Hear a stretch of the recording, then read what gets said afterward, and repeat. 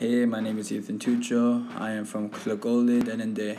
I am a Honeno or 30 years old. I love to play basketball and I love to play hand games on my spare time. I came to Tulita for the Sahtú Youth Gathering Network, not just not just for the trip. I came to learn and hopefully make a change into our culture. Hopefully bring back the past and live the past. But also to create a family as a bond together as a group. As here we see laughs and smiles. Over the summer I was able to travel. Um, over the summer I traveled to Alder for a Northern Youth Abroad program.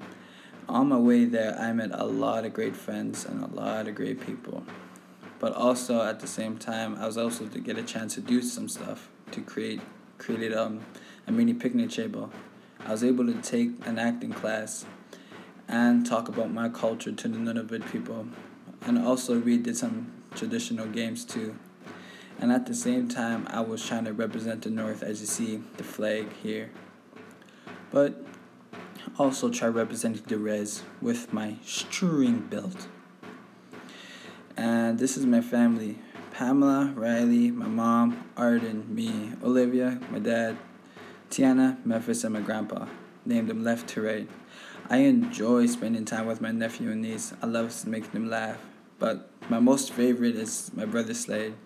I met my brother Slade on March 1st, 2019, this year.